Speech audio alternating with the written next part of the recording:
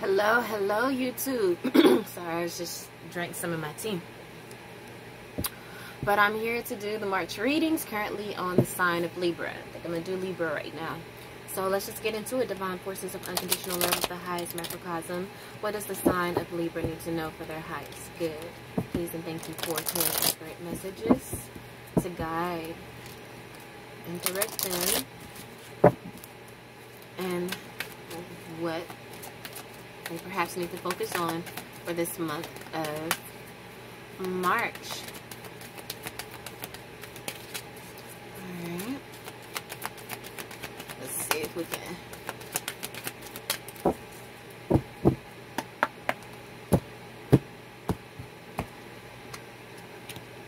Discipline for the first week. Indecision we have here. in Envy and then trust. Okay. Bottom of the deck, we have imagination. I embrace and nourish the creative aspect of my mind. So perhaps you need to um, exercise a little bit more discipline in your meditation practices so that you can see clearly in the things that you need to do, that you can act decisively again because so the indecision card it says here I use my intuition my intuition in all aspects of my life. So but in order for you to be able to access the messages of your intuition you must be able to quiet and still you know your energies. Patience so you're getting a lot of the same cards that uh, Capricorn received. Bottom of the deck is the path. Okay. So the path that you're on is going to require a lot of uh, creativity, a lot of imagination. In Libra, you guys, you know, have that in in abundance you know you should is you know your air you're you're um, very intelligent you very much in your thoughts. Um, but spirit is asking you to hone that uh, gift of intelligence of thoughts of being able to think on your feet quickly. Hone that energy.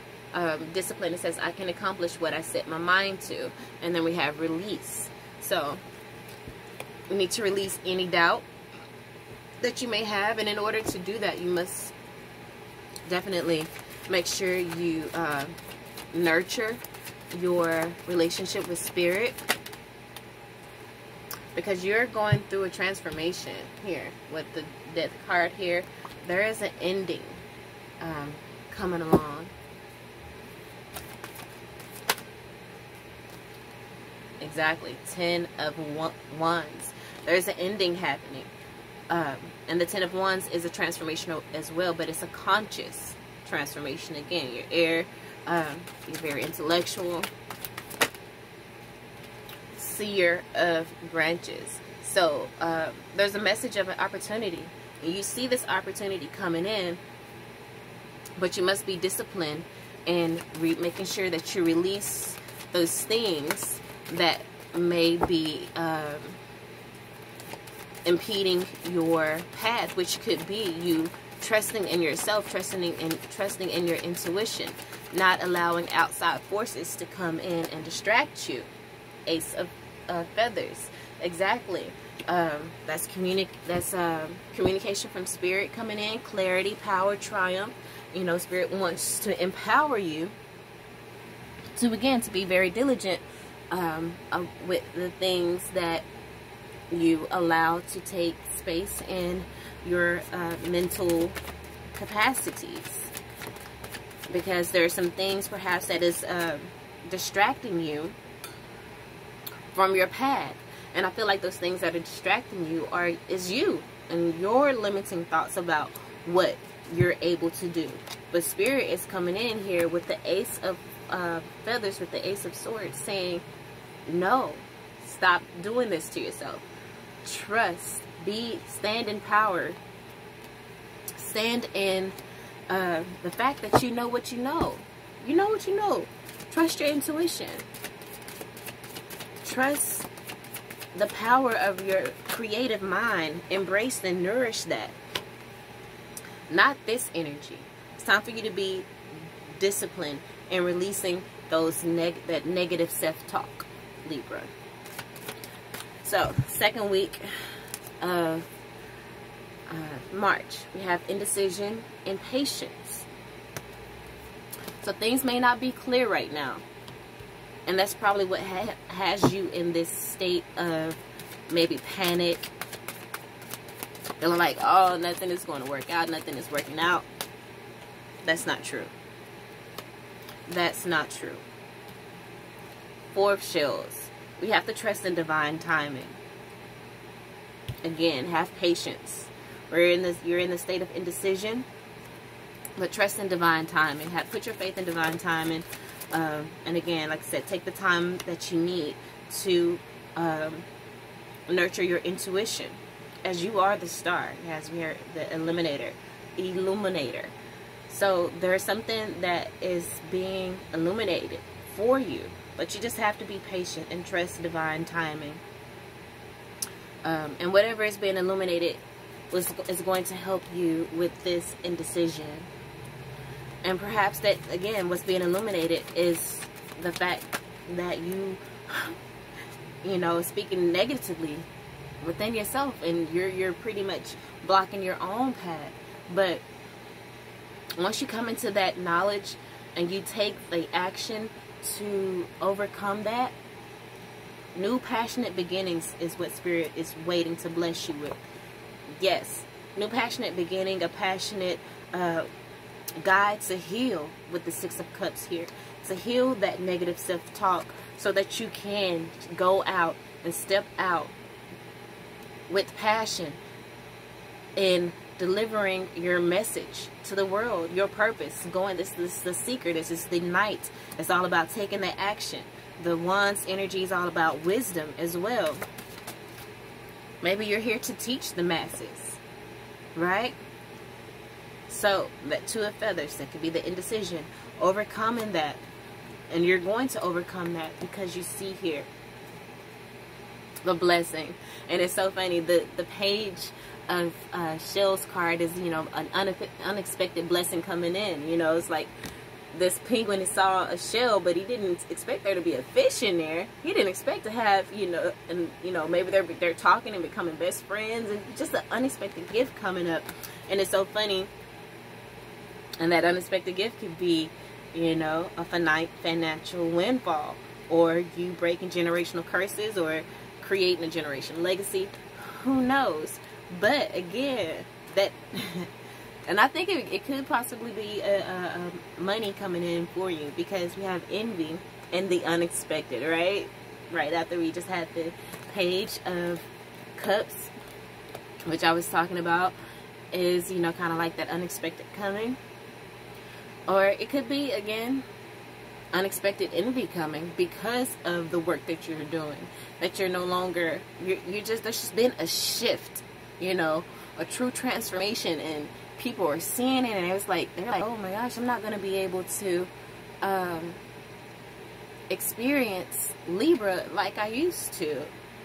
Um, I'm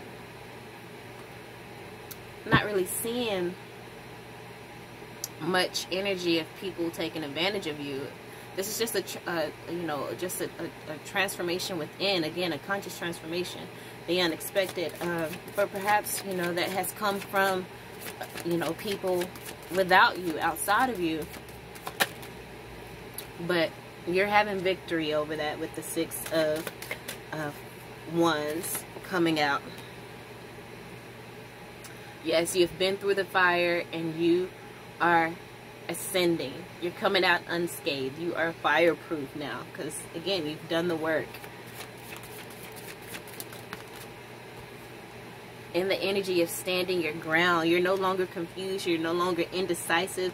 You're trusting the brilliance of your mind and the protection and loving guidance of your heart now. You're back on your path. You have, you know, created a, a, an a action plan, a discipline within yourself that is going to keep you out of this energy of delay, you know, because you do see things from a different perspective now. You're standing in your power, and you know, some people may be envious of that. But you just stay focused on your sacred path.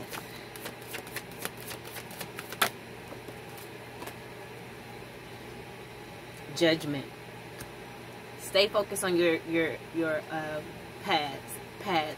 And we have here Matt, and it says this is judgment card, and it says Masters of Discernment. Exactly. You are discerned. You're being very diligent and very disciplined, and the negative thoughts that may come into your mind, and you're releasing them in, in instantly, immediately, which is going to help you to garner patience for yourself, overcome any indecision, which is going to bring about a beautiful blessing, a windfall of blessings to you you know unexpected blessings coming in. Beautiful. Because you have you know engaged in this queen of one energy and taking things into taking matters into your own hand you know along with working with spirit you know knowing that you are a co-creator. Yes okay so before i go into that we're in the last week of March here with the faith and trust card. The trust card says here, I accept that my inner voice will always guide me correctly. It'll look. Yes. The high priestess card. Libra, you are the high priestess. Or you're, or you're tapping in, you're walking in your high priestess energy. If you're a male, you are a high priest. You know, um, don't get caught up in the queen, king, uh, gender-ish things of the reading. We all have that energy within us, and so that could just be the energy that is prevalent at this time. Um, the energy that is more potent. But yes, overcoming all of this, facing, you know, those that negative self-talk, it's going to bring you into a place of trust